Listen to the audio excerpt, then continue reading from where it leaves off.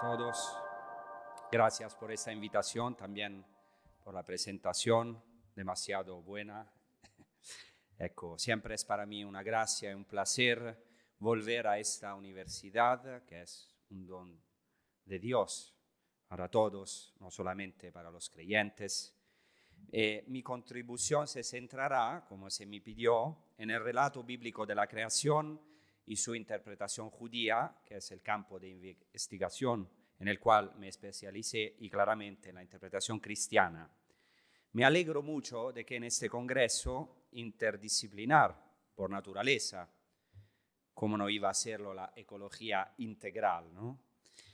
También eh, en este congreso haya lugar para la Biblia.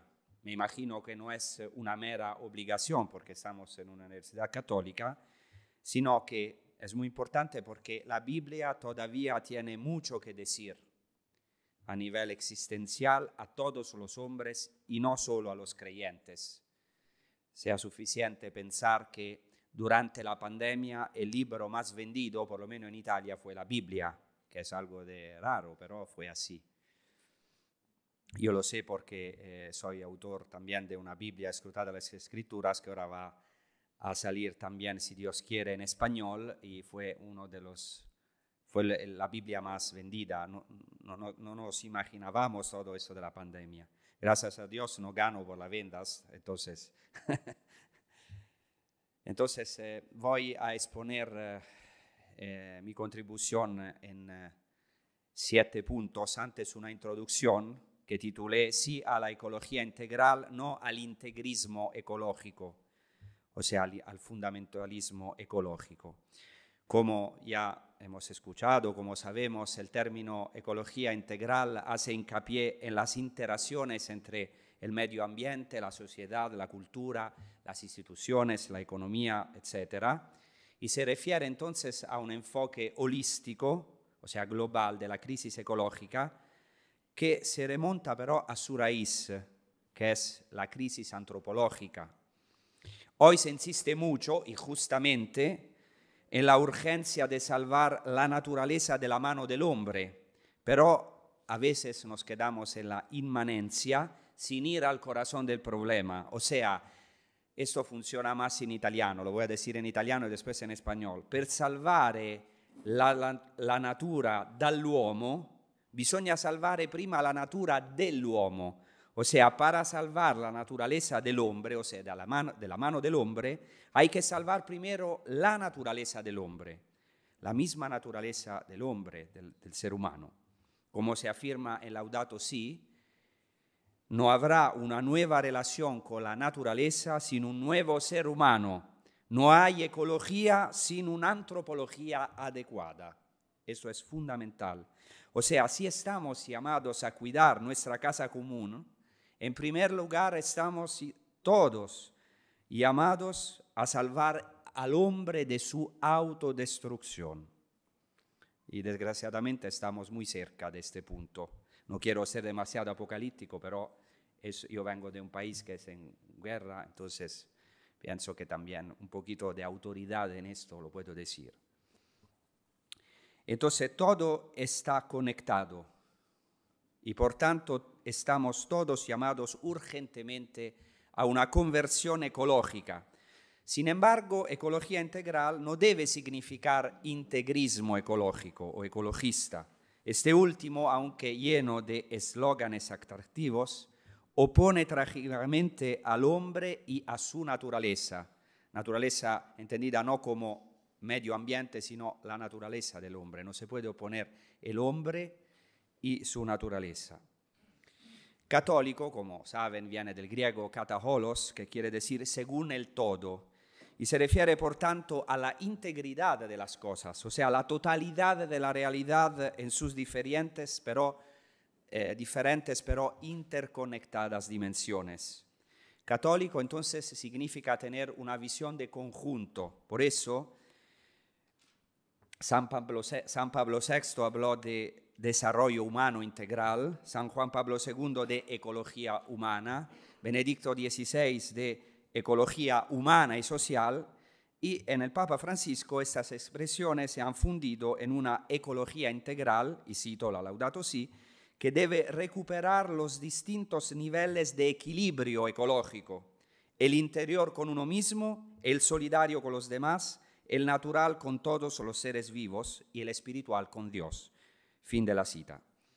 Creo personalmente que el corazón de Laudato Si consista, y esto después lo voy a explicar, en dar valor relacional a todas nuestras acciones, por pequeñas que parezcan, ya que todo está conectado.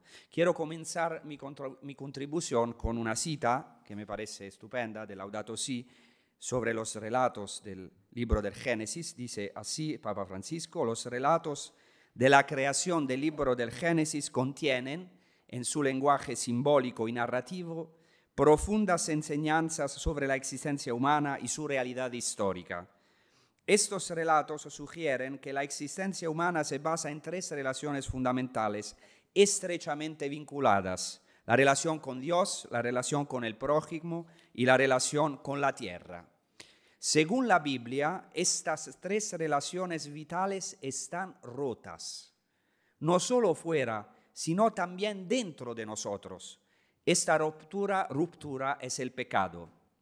La armonía entre el Creador, la humanidad y toda la creación se ha destruido porque hemos pretendido ocupar el lugar de Dios, negándonos a reconocernos como criaturas limitadas. Este hecho también distorsionó la naturaleza del mandato de someter la tierra y de cultivarla y custodiarla. Como resultado, la relación originalmente armoniosa entre los seres humanos y la naturaleza se ha convertido en un conflicto. Fin de la cita. Bueno, a lo mejor saben, pero es importante decirlo aquí, que según el libro del Génesis, los once primeros capítulos del Génesis, o sea, antes de Abraham, que es capítulo 12, no son históricos en sus detalles. Sin embargo, esto no significa que sean un mito o una fábula, al contrario, presentan una verdad histórica o podemos decir más que histórica, ontológica, es decir, que concierne a todo hombre en todo tiempo. O sea, no quiere decir que el mundo fue creado en siete días, pero es, por ejemplo, los relatos de la creación contienen una verdad más que histórica, una verdad histórica y más que histórica, que concierne a todo hombre en todo tiempo. Entonces, por ejemplo, los dos primeros capítulos del Génesis contienen dos relatos de la creación que son diferentes, capítulo primero, capítulo segundo, pero están de acuerdo en proclamar que todo lo que existe fue creado por Dios y que el hombre, acme, o sea, culminación de toda la creación, está colocado en una relación de gobierno y custodia respecto al cosmos. Y antes de empezar, quiero decir, ¿por qué relatar dos veces la creación? capítulo primero y capítulo segundo. Primero porque yo vivo en Tierra Santa, en un ambiente semítico, hablando, eh, o sea, en el mundo árabe y en el mundo judío, hablando ambas lenguas, y aprendí que, o sea, que relatar dos veces, lejos de ser una aburrida repetición, en el mundo semítico es en realidad profundización y meditación. Para mí es algo raro hasta ahora, pero es así. En segundo lugar, porque en Génesis 1 y 2 los autores sagrados no pretenden hacer una crónica de la creación, sino expresar el sentido profundo, profundísimo de la creación y del hombre en relación con Dios, que es el creador. En otras palabras, podemos decir, hacer ecología integral, como ahora vamos a ver. No es que la Biblia copió de Papa Francisco, no, claramente. ecco, pero eh, es exactamente una ecología integral que se presenta en los primeros dos capítulos del Génesis. Primer punto, el hacer de Dios y el hacer del hombre. En Génesis 1, Dios crea, se utiliza un verbo que es el verbo bara, haciendo, verbo asa. Y varias veces se dice que Dios hace, hace, hace, hace. También se dice que Dios da y pone, dos verbos que en hebreo se traducen por uno, que es el verbo natán. Y todo converge en el hombre, que es el vértice de la creación. Todo se hace, se crea, se coloca, se da con vistas a Él. ¿Por qué esta insistencia en el hacer de Dios? porque esto muestra una intención radicalmente anti-idolátrica, o sea, contra el hacer del hombre que se convierte en idolátrico, o sea, construir un Dios hecho a imagen y semejanza del hombre, un Dios humano, demasiado humano.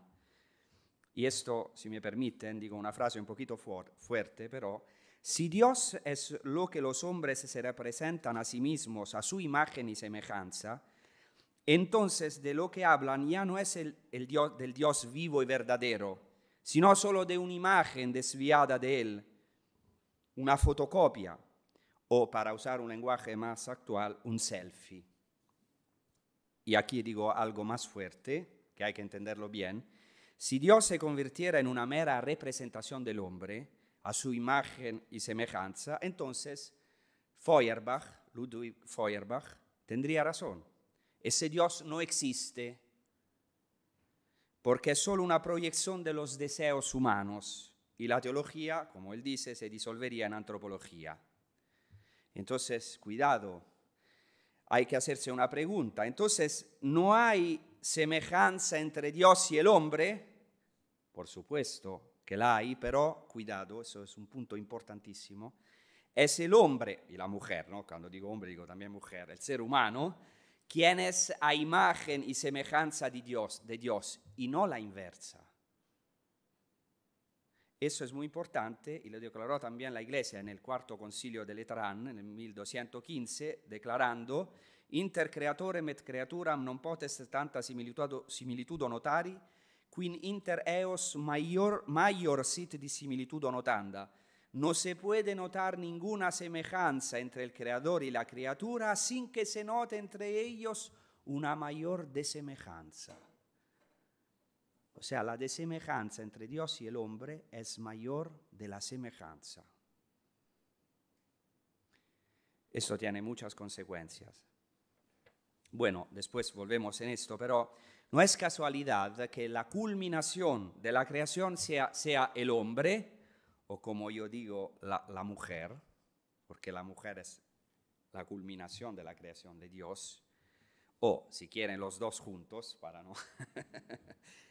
o sea, la comunión, y finalmente la culminación de la creación es también el Shabbat, o sea, el sábado, que es la comunión con Dios y entre los hombres. Y es muy interesante porque en Deuteronomio al capítulo 5, el sentido del mandamiento del sábado es conmemorar la liberación de Dios de la esclavitud en Egipto. Entonces, en el sábado, en el Shabbat, el esclavo debe ser liberado del trabajo.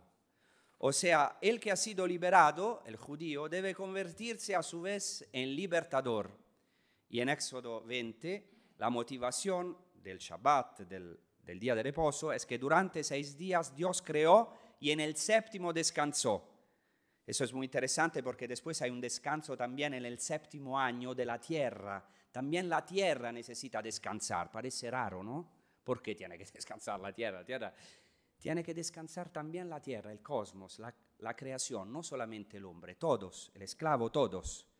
Eso también tiene una perspectiva antidolátrica. Durante seis días hay que trabajar, pero el séptimo día hay que, mediante el no hacer, dar testimonio de que el único que realmente hace es Dios. Segundo, separar de la confusión. Entonces, Dios no crea solamente haciendo, sino también separando. ¿eh? Esto, filológicamente, el verbo hebreo lehavdil, separar. Dios separa y luego nombra. La creación existe porque hay separación entre la luz y las tinieblas, entre las aguas de arriba y las aguas de abajo, etc. Según Génesis 1, crear es diferenciar, separar, ordenar a partir del tohu vavohu, del caos, literalmente el deserto y vacío, el caos primordial. Claro que Dios crea ex nihilo, como hemos escuchado, pero la imagen que da la Biblia es que antes había un caos indiferenciado, un deserto y vacío, tohu vavohu. El verbo leavdil utilizado en Génesis 1 designa en Levítico la separación entre lo sagrado y lo, profano, entre lo puro y lo impuro, entre Israel y las naciones. Como dice Levítico 20, 24, sed santos, porque yo, el Señor, soy santo, y os separo, va avdil, de las naciones para que seáis míos. La creación es pues una obra de separación, de santificación, una obra litúrgica. Dios separa la luz de las tinieblas como separa a Israel para que, sea su pueblo. Claramente Dios separa para elegir y santificar y en vista de una misión. Cioè, tiene, la separación tiene como fin una misión para las naciones y el mundo, que es, esta misión es la comunión. Aunque entonces todo sea conectado, todo es distinto. La creación surgió de la confusión, del caos primordial, según la Biblia. Esto tiene consecuencias fundamentales a nivel antropológico. El hombre debe tomar conciencia de que para existir debe aceptar que es diferente del otro y aceptar que el otro es diferente de sí mismo. Eh, para que el yo y el otro existan y entren en diálogo y comunión deben ser necesariamente diferentes y esta diversidad debe ser reconocida y aceptada. El hombre debe también aceptar que es diferente de Dios, que no es Dios y que Dios es diferente del hombre. Y ahí está todo el camino de la conversión, que es un camino, un itinerario incesante. Y cada vez que nos salimos de esa distinción, que no aceptamos eh, nuestra diversidad y sobre todo la diversidad de Dios, la creación vuelve a sumitirse o a sumirse en la confusión, en el caos. El pecado es confusión, es no aceptar la diversidad del otro y de Dios. Y cuando la obediencia de Dios o la dependencia de Dios alcanza su punto culminante, o la disobediencia, eh, alcanza su punto culminante, ¿qué pasa? Que las aguas de arriba ya no permanecen separadas de las aguas de abajo y es el diluvio, que es la descreación, el volver a la confusión. Tercero, la palabra creadora. Además, Dios crea diciendo, eso es muy interesante, disculpe, disculpen.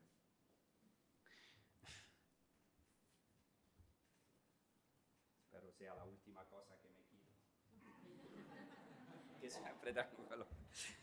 Eso, disculpe. Dios crea diciendo, ¿no? Se dice diez veces en Génesis 1, se repite y dijo, Vayomer en hebreo. Eso es muy interesante porque la tradición judía subraya que son atentos a, los pequeños detalles como los padres de la iglesia, la tradición judía subraya que estas diez palabras de Dios corresponden a las diez palabras de vida de la Torah, de la ley, que nosotros llamamos los diez mandamientos, pero literalmente son las diez palabras de vida. O sea, según Génesis 1, la realidad depende de que las cosas obedezcan las diez palabras de Dios hay una creación constante y dinámica, o sea, Dios hace que la creación sea cada día lo que es. Del mismo modo que el mundo existe gracias a estas diez palabras de Dios, el hombre puede existir realmente como tal gracias a la obediencia a las diez palabras de vida del Decálogo. Entonces hay una conexión entre creación y redención. Eh, es muy importante entre la razón y la fe, entre la naturaleza y también la, redención. La tradición cristiana claramente ha tomado esta tradición y la ha aplicada a Cristo, sabiduría, logos y principio de la creación. El logos con el que se creó el mundo es el Hijo. Esta dimensión de la creación es decisiva. Toda nuestra relación con Dios pasa por la mediación de la relación con el Verbo, con la palabra de Dios, con el logos en persona, Cristo. E hay un texto de la tradición judía, el Midrash Bereshit Rabba, el, el gran Midrash al libro del Génesis, que dice, así comienza, es muy interesante, Akadosh eh, Baruchu Mabit Torah Uvore et Haolam. O sea, el santo, bendito él sea, miró la Torah y creó el mundo, y sigue así, como declara la propia Torah, en el principio Bereshit creó Dios. Y principio, Reshit, principio, no es otra cosa que la Torah. Como se dice, el Señor me hizo principio de su proceder. Es muy interesante. Según los judíos, toda la creación, todo el cosmos fue creado eh, con un plan que es la Torah, que es la misma palabra de Dios. Y eso es impresionante para los que son cristianos, porque eh, para los judíos todo el cosmos tiene un plan que es la Torah, la palabra de Dios, la sabiduría, el principio, el arte, la belleza con que fue creado el mundo.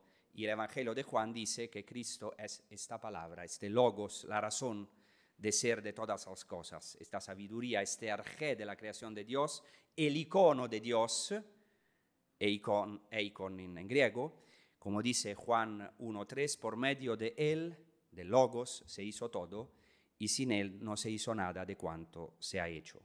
Cuarto, nombrar y bendecir. Dios también llama, da nombre a las cosas creadas. Y como a lo mejor saben en la mentalidad bíblica, el nombre es una profecía, es una revelación profunda de la persona, es el secreto más íntimo de la persona. Conocer el nombre o dar nombre a algo o a alguien es tener un dominio sobre ello, poseer su secreto, por eso es impresionante que Dios entrega su nombre a Moisés y a través de Moisés a Israel y a través de Israel al mundo, aunque es un nombre misterioso porque es una tautología, yo, yo soy el que soy, es un nombre que queda misterioso, pero es impresionante que entrega su nombre. Y por eso el hecho de que Dios nombra a las criaturas significa que ejerce su señorío sobre ellas y comparte según el relato del Génesis, su señorío con el hombre cuando le da permiso para nombrar a los animales. Pero Dios no solo dice, sino también bendice. Tres veces se habla de esta bendición a los peces y a las aves, al hombre y a la mujer y al el día de reposo. También bendice el día de reposo. O sea, todo lo que Dios ha creado, que es declarado bueno, tov en hebreo, en griego kalos, bello, lindo, o sea, llega a su punto culminante con el hombre y la mujer, de los cuales se dice que es cosa muy buena. Y claramente después Dios bendice, y esta bendición es muy interesante, se aplica únicamente a las últimas obras, es decir, cuando la creación cobra vida. O sea, la vida se, desborda, se expande, se multiplica. O sea, esta bendición dice que la vida como vida es bendita. Y después, como ya he dicho, la culminación de la creación es la persona humana, la última obra de la creación, la más bella, con una dignidad sin igual. Sin, embargo, es creada al mismo día que los animales y recibe su mismo alimento. No entro aquí en la cuestión de vegetarianos o vegetarianos, pero según la Biblia el hombre en principio era vegetariano. Yo no soy vegetariano, pero no, entro en esto porque si no, no terminamos. Pero es interesante esta paradoja del hombre. O sea, estamos ante el misterio del hombre y de la mujer. tenemos que mantener unidas las dos realidades. O sea, el ser humano semejante a los animales, pero imagen de Dios. Ese es el misterio del hombre, como dice el Salmo octavo, literalmente, que después de considerar la pequeñez del hombre ante la inmensidad de la creación, se dice que eh, tú, se dice a Dios, tú lo has hecho poco menos que Elohim, no literalmente poco menos que los ángeles, sino poco menos que Dios. El hombre es un misterio. No solo es creado el mismo día que los animales, sino que recibe una bendición similar a la de los animales. Pero la diferencia es que los animales reciben con la, con la bendición el mandato de multiplicarse cada uno según su especie, mientras que el hombre tiene su unicidad y en esto es semejante al Dios único. También en cuanto a la promesa de fecundidad, el hombre es diferente del animal. Su fecundidad será signo de la fidelidad de Dios a su alianza, como en Abraham, en Jacob y después de generación en generación. Además, la bendición del hombre no se limita a multiplicarse y llenar la tierra, sino también a someterla. El hombre está llamado a ejercer el dominio sobre las demás criaturas. Es rey y señor de la creación, a imagen del Creador. Y esa es la paradoja que llevamos dentro y que de alguna manera nos complica tanto la vida, ¿no? Estamos llamados a vivir de acuerdo con esta doble dimensión, sin olvidar nunca una de ellas, ser, seres animales y seres divinos al mismo tiempo. O sea, la tentación constante es simplificar la realidad, diciendo el hombre es un animal. Hoy algunos dicen que es peor que un animal, ¿no? vamos a ver. O el hombre es Dios, es un Dios. Somos animales, pero no somos solo animales. Somos divinos, pero no somos Dios. Nuestra tarea consiste en mantener unida esta doble realidad, viviendo plenamente nuestra vocación divina, pero sin olvidar nunca que fuimos hechos el mismo día que los animales y que por tanto no somos Dios. Entonces todo nuestro poder o autoridad, que también forma parte de la bendición que recibimos, es sin embargo un mandato que recibimos, una tarea que no podemos manejar a nuestro antojo. Somos señores del mundo, sí, pero solo si reconocemos que el verdadero Señor es Dios. En cuanto a este dominio se debe al hecho de que el hombre es a imagen de Dios, pero no debe entenderse como un poder para sustituir a Dios. Por tanto, dominio sobre la tierra y la vida, pero dominio recibido, que solo es tal si se vive en obediencia al Creador. Es muy interesante, un rabino, Alexander, se pregunta qué significa un versículo del Salmo 114 que dice, del Señor son los cielos, pero ha dado la tierra a los hijos del, del hombre. Y responde, ¿qué significa? Significa que se le ha dado a los hijos del hombre para que la conviertan en cielo, la tierra. Vamos a volver sobre esto también las conclusiones. Quinto, el hombre y la mujer, verdaderos iconos de Dios. Ya hemos hablado de esto, pero quiero decir que algo muy importante. En la revelación bíblica, el cosmos está desacralizado. En ese sentido, el hombre es un unicum, es el único icono que tiene el copyright de Dios. O sea, el, icono, el único icono autorizado de Dios. No se puede hacer ninguna imagen de Dios. En el Antiguo Testamento es prohibido. No se puede hacer ninguna imagen de Dios. Hay solamente una imagen, uno icono, que es el hombre y la mujer juntos. Eso es muy importante porque dice Génesis 1.27, y creó Dios, y creó Dios a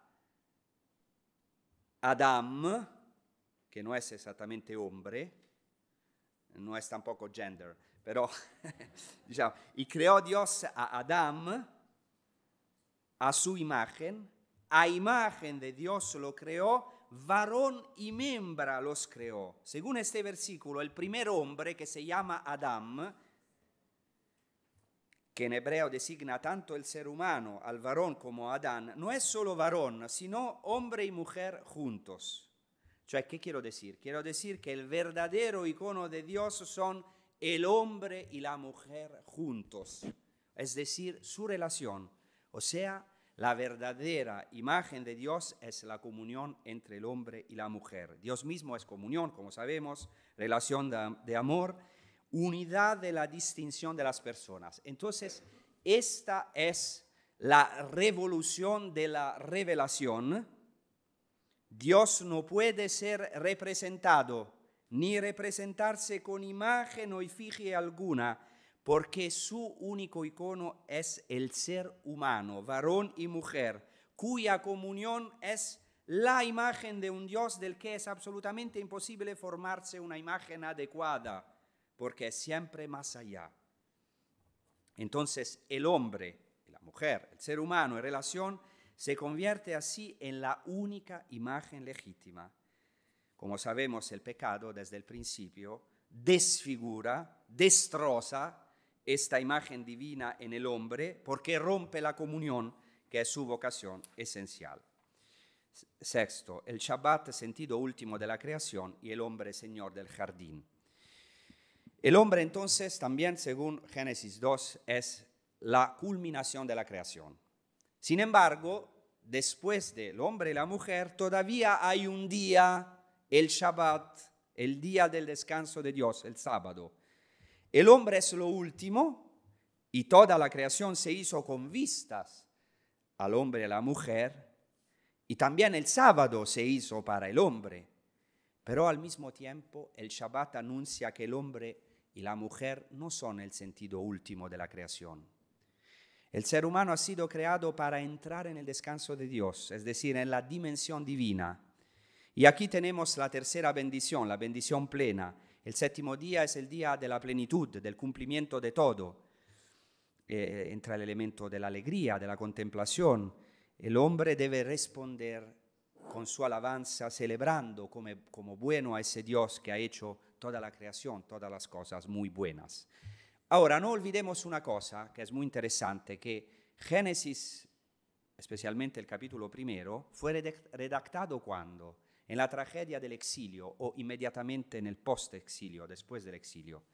O sea, la destrucción del templo y el exilio representaron una crisis integral, podemos decir, no solo política, sino también religiosa, de fe.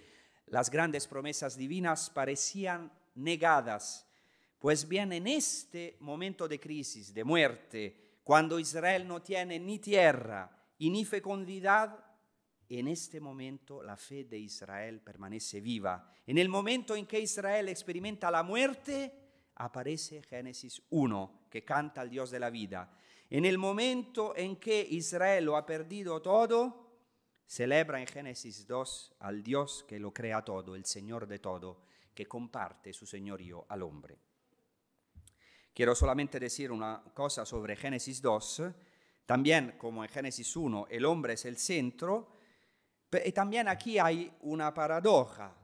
El hombre es el señor del jardín, es Él quien decide qué hacer con este jardín, pero sin sustituir a Dios, porque es Dios quien pone al hombre en un jardín para que lo guarde y lo cultive. En hebreo literalmente se dice lehovdah u.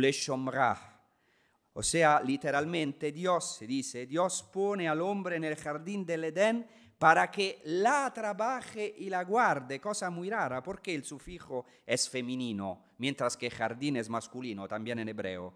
Dicen los rabinos, no se trata de un error gramatical. El femenino se refiere a la Torah.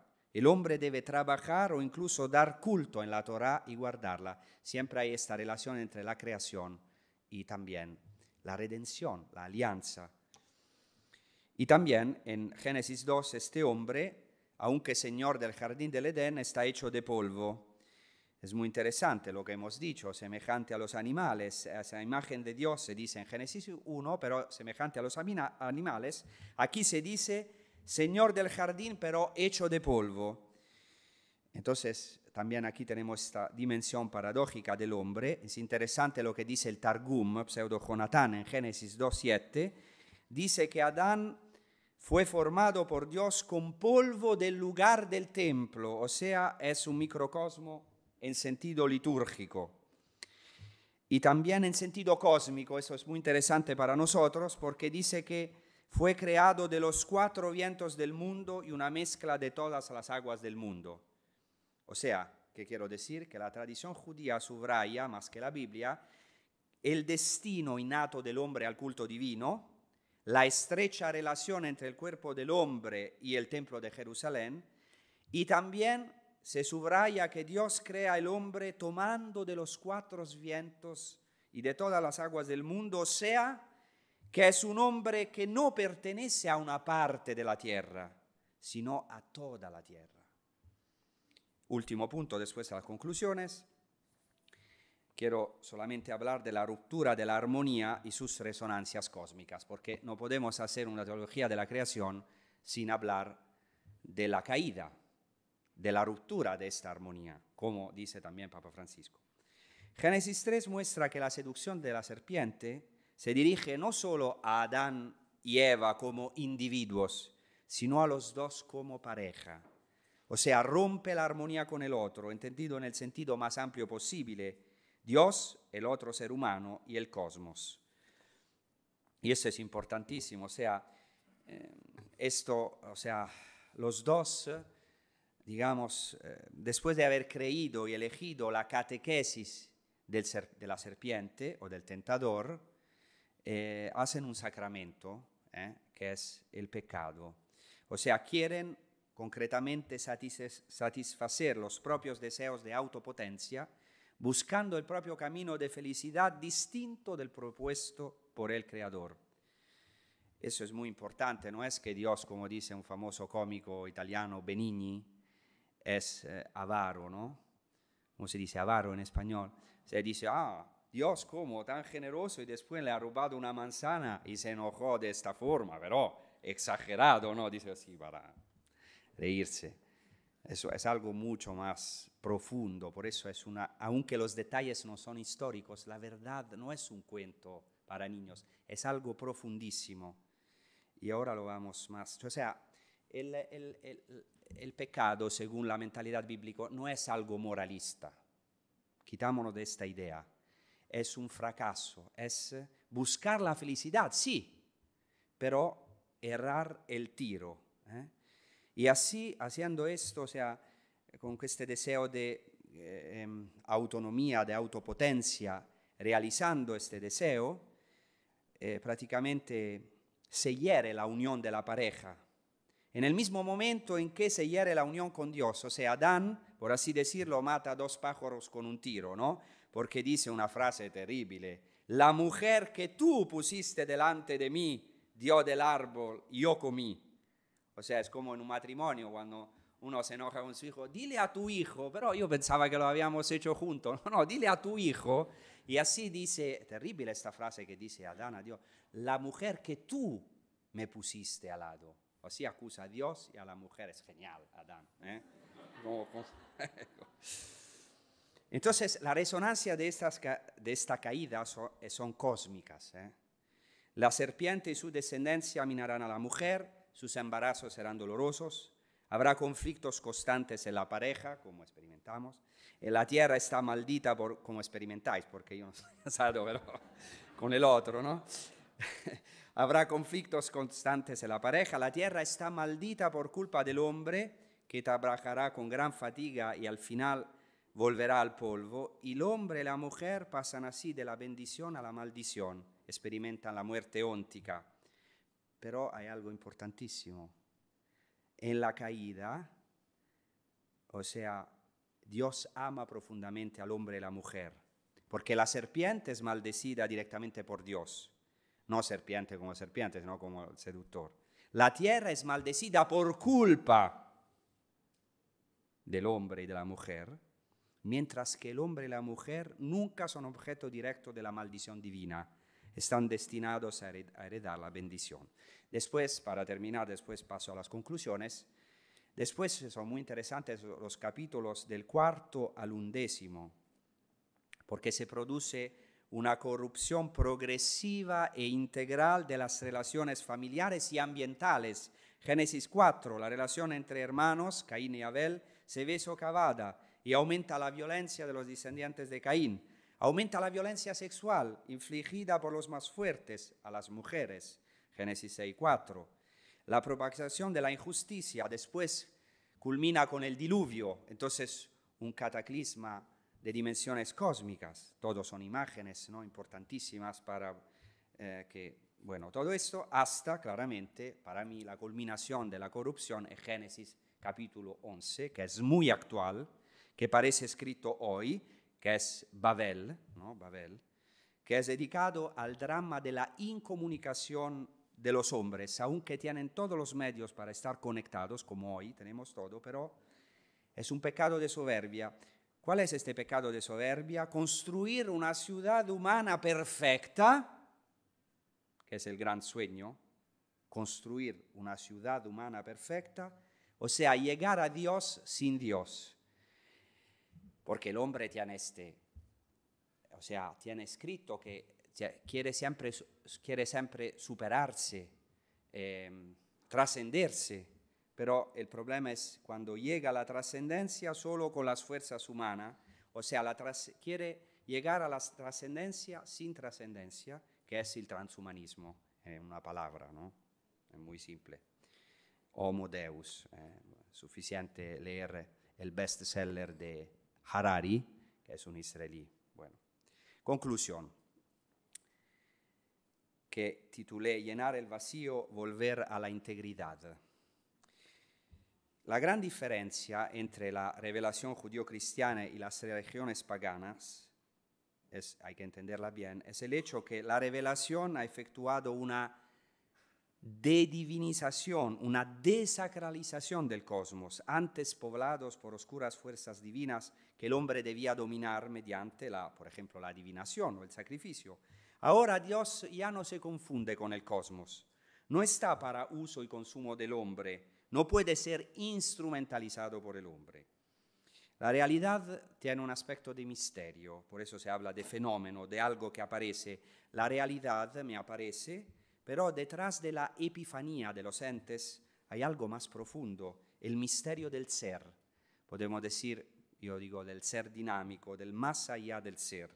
El misterio de la realidad nos escapa, se nos escapa, no en el sentido de que sea totalmente secreto, exotérico, sino en el sentido de que estamos inmersos en el misterio que es la realidad y podemos decir, como creyentes, quien, es creyente entre nosotros, inmergidos en este misterio que es Dios, inmersos en este misterio que es Dios. Por mucho que el hombre haya avanzado en el conocimiento del macrocosmos y el microcosmos, que es una gracia, un don de Dios, pero esos dos siguen siendo en gran medida desconocidos para el hombre. Estamos inmersos en un misterio, somos también una epifanía de este misterio, como dice Florensky, y cito, el mundo espiritual invisible no está en un lugar lejano, sino que nos rodea. Y nosotros estamos como en el fondo del océano, estamos sumergidos en el océano de luz. Y sin embargo, por falta de costumbre, por inmadurez del ojo espiritual, no advertimos este reino de luz, ni siquiera sospechamos su presencia. Un rabino que venía de aquí, de España, Itzhak Luria, se preguntó eh, cómo es posible, si Dios está en todo, cómo es posible que exista el mundo, cómo es posible que Dios con su gloria no rellene el mundo de manera total, cómo es posible el mundo si estamos en Dios. Claro, que su pregunta tenía una inquietud existencial, es algo muy existencial, no es algo filosófico, o sea, el vacío que tenemos al interior de nosotros. ¿no? Entonces, que, el rabino Itzhak Luria resolvió el problema a través de la concepción de que si Dios llena el todo cósmico, pero trascendiéndolo infinitamente, esto significa que para hacer que el todo sea, Dios se ha retirado de alguna manera, formando un espacio vacío. Esta doctrina es conocida en hebreo como tzimtzum, que es retracción, contracción. Eh, no es exente de implicaciones peligrosas, pero si se entiende correctamente, puede ayudar a expresar la absoluta apertura de Dios a la relación y su kenosis ya en la creación, o sea, su vaciarse, su descender, ya en la creación antes de Cristo esto prácticamente lo dicen también los judíos. El sinsum indica en una palabra el repliegue de Dios que se autolimitaría para hacer ser lo otro que Él, o sea, el cosmos. Eso es muy importante porque presenta una idea de un Dios absolutamente trascendente, pero no solitario, un Dios que muestra una propensión esencial a la relación. Entonces ya en la antigua alianza, ya en la creación, hay un descenso, o en la primera alianza mejor, hay un descenso de Dios, su kenosis, su vaciamiento. Sin duda, eso es importante porque hay un vacío en el mundo, hay un vacío. El mundo creado por Dios, aunque está lleno de belleza y de armonía, aunque sea creado para nosotros los cristianos según el, el Logos, Cristo, pero no es un jueguito, perfecto. No es un cubo de Rubik el mundo. Esto por dos razones. Primero, porque el mundo creado contiene en sí mismo una perfectibilidad, tiene un vacío ontológico. Segundo, porque la creación divina, como hemos dicho, implica el libre albedrío de los ángeles y los hombres que tiene la posibilidad de hacer el mal. Eso significa que el mundo no es perfecto, aunque sea maravilloso, no es perfecto, sino que existe un vacío que tiene que ser llenado. Y decía un gran filósofo judío, Emmanuel Levinas, eh, decía, hay una frase que dice eh, Dios a Job, al final del libro de Job, ¿dónde estabas tú cuando yo ponía los cimientos de la tierra? Y dice Levinas, eso no es tanto un apostrofar de Dios hacia Job, eh, pero se puede percibir algo más en esta, pregunta, en esta pregunta, ¿dónde estabas tú cuando yo ponía los cimientos de la tierra? Y dice Levinas, en esta frase se puede percibir la constatación de una carencia que solo puede tener sentido si la humanidad del hombre es solidaria fraternalmente con la creación, es decir, si es responsable de lo que no era ni suyo ni su obra, o sea que es la esencia del hombre ser para Levinas. Entonces, para terminar, esto para mí es muy importante, o sea, es muy importante porque ¿qué es el verdadero vacío? El verdadero vacío surge, surge entonces del libre albedrío del hombre, según la Biblia. Dios es el rey del universo, de todo, para nosotros los creyentes, pero hay un lugar donde todavía su dominio no puede ser completo, que es el libre albedrío del hombre. Entonces, en nosotros, esto es ecología integral, reside todo el drama de la historia y todos los afanes del cosmos. Esto es muy bíblico, según la revelación.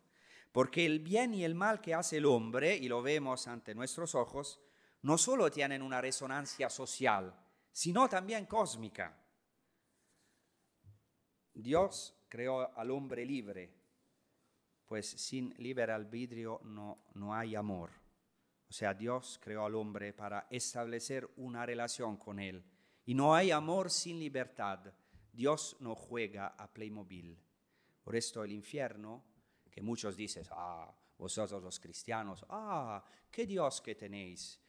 Vuestro Dios ha dicho, amad vuestros enemigos y después los enemigos al infierno. Ah, qué Dios que tenéis. Yo no quiero este Dios. No es absolutamente así. El infierno es la máxima demostración del amor de Dios porque Dios no nos puede obligar, nos deja libres. Ahora no entro en la cuestión quién está en el infierno, si está vacío, está lleno, no entro en esto, no lo sé, lo, lo veremos. Bueno, entonces dice Jesucristo una cosa importantísima, pienso que sea importante, no es lo que viene de fuera lo que contamina al hombre, esta es la contaminación sino lo que viene de su corazón lo que le hace impuro y contamina todas sus relaciones. Por eso no hay verdadera ecología ni justicia social, ni verdadera liberación sin conversión del corazón. Tenemos absolutamente que volver al corazón del problema, que es el corazón del hombre. Esta conversión ecológica integral estamos llamados todos. Por eso dice San Pablo en la epístola a los romanos, la creación expectante está aguardando la manifestación de los hijos de Dios. En efecto, la creación fue sometida a la frustración no por su voluntad, sino por aquel que la sometió, con la esperanza de que, la creación misma sería liberada de la esclavitud de la corrupción para entrar en la gloriosa libertad de los hijos de Dios. Porque sabemos que hasta hoy toda la creación está gimiendo y sufre dolores de parto. O sea, de este texto se desprende que el destino del hombre determina el destino del cosmos. Toda la labor del cosmos y su redención están estrechamente ligadas al camino del hombre hacia la verdadera libertad. Gregorio de Nissa recoge una tradición judía según la cual Adán y Eva, y en principio tenían un cuerpo de luz, y debían devolver la libre respuesta de amor al Creador siendo absorbidos por la luz increada de Dios. En principio era energía, dinamis, luz divina. El hombre y la mujer, o sea, el ser humano, el hombre, es el sacerdote de la creación.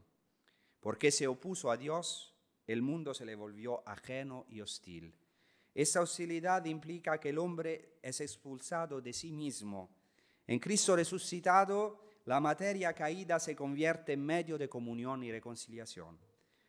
Así podemos, el hombre y la mujer pueden redescubrir el mundo transfigurado en Cristo y participar a esta transfiguración que irradia la luz tabórica. Entonces la transfiguración es el destino del hombre y del cosmos. Eso también para dar esperanza, no es verdad que estamos en el punto de destruir todo, pero, o sea, el destino del hombre y del cosmos y las dos transfiguraciones, la de Cristo y la del hombre, son dramáticamente conectadas. Esto quiere decir que la misión del hombre es la divinización del mundo. En Cristo el hombre descubre el verdadero sentido del mundo.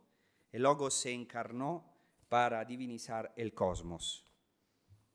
El problema, no sé si me paró el reloj, no, todavía no. Pienso que me separó. ¿Cuánto, ¿Qué hora es? ¿Puedo terminar? Es 28, ¿no? Entonces no me separo, ¿no? Porque veo que siempre la misma hora, digo, gracias a Dios. Entonces, eso es importante porque el problema fundamental del mundo no es el problema social, ni la, de la justicia planetaria, claro que sí, es un problema eh, inmenso, pero el verdadero problema es la santificación universal, el corazón del hombre. En lo más profundo del hombre está inscrita la verdad de ser un don. O sea, Levinas, en polémica con su colega alemán Martin Heidegger, sabéis que Martin Heidegger había definido el hombre como guardián del ser, una definición maravillosa, pero Levinas dice, no, mejor decir que el hombre es guardián del hermano, el hombre es en su esencia relación. Y esto hasta el punto que el filósofo Levinas llega a afirmar, sin negar nunca que el Mesías es también un personaje individual e histórico, que el otro es el Mesías para mí y yo puedo serlo para el otro, siendo el otro una llamada apremiante, una vocación, incluso una lección que me convierte en rehén. Se habla mucho de rehenes, ¿no? Ma, ecco, y por tanto esto conlleva una responsabilidad infinita por mi parte. Acontecimientos recientes como la pandemia, los desequilibrios geopolíticos que, que vemos ante de nosotros, los diversos conflictos y guerras, nos hacen cada vez más conscientes de que ninguno de nosotros es una isla en este mundo y de que no podemos vivir como mónadas en la actual aldea global. Esto lo dice otra vez Levinas, que dice, en el simple encuentro del hombre con el otro, eso es, maravilloso, ¿eh? está en juego el esencial, lo esencial, lo absoluto. En la manifestación, en la epifanía del rostro del otro, descubro que el mundo es mío en la medida en que puedo compartirlo con el otro. Y lo absoluto se, juega en la proximidad, al alcance de mi mirada, al alcance de un gesto de complicidad o de agresión, de acogida o de rechazo. Esto parece una utopía. Y una vez, un, muy interesante, era judío Levinas, ¿no? un cristiano, un profesor cristiano le preguntó, pero esta filosofía tan linda ¿no? del rostro del otro, donde aparece la trascendencia, pero ¿Cómo se actúa? ¿Es una utopía? ¿Sabéis cómo ha, contestado Levinas, que era un judío a este cristiano? Me vous avez la grâce. Vosotros tenéis la gracia. O sea, tú tienes la gracia, es muy fácil para ti, a decir, un judío. ¿eh? Interesante. Bueno, solo cuando el hombre se vuelve hacia el otro se encuentra con Dios. Y solo cuando se vuelve hacia Dios se encuentra con el otro. Solo entonces puede encontrar a sí mismo y llenar el vacío el hombre, en efecto, disculpen, por muchos que los neopelagianos se empeñen en negarlo, está perdido y de forma dramática. Según la Biblia, la primera pregunta, primera pregunta que Dios hace al hombre después del pecado es, Ayeka, ¿dónde estás? Estás perdido. La segunda pregunta que le hace es, ¿dónde está Evel, Ajija, ¿dónde está Abel, tu hermano? Así el hombre que antes se había perdido a sí mismo y había perdido la presencia de Dios, ahora pierde también el otro. Trágica ironía de la Biblia, en la que el primer hijo de Dios se revela contra su padre, ¿no? Primero Adán se revela contra Dios.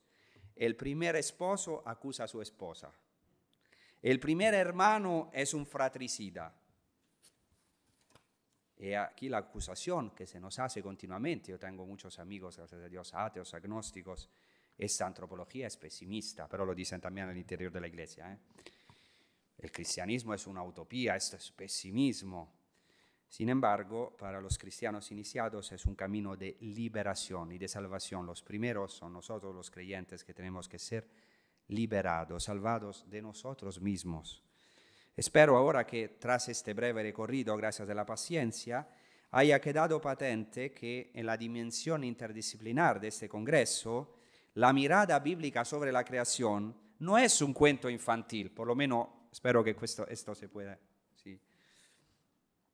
Todo lo contrario, tiene mucho que decir, es muy actual, existencial, personalista, cósmica, integral. O sea, tras perderse a sí mismo y, la, perder la comunión con el otro, el hombre puede hoy perder el mundo, como en el diluvio. Nadie es una isla. Cuando destruimos el rostro de Dios y del otro, disolvemos también el nuestro. Disolvemos la naturaleza y el mundo, especialmente en la era de interconexión global en la que vivimos. Si nos hundimos, nos hundiremos juntos, en el mismo barco, porque estamos más que nunca en una aldea global y el mundo necesita realmente una ecología integral y ahora espero que se entienda mejor lo más integral posible. Gracias.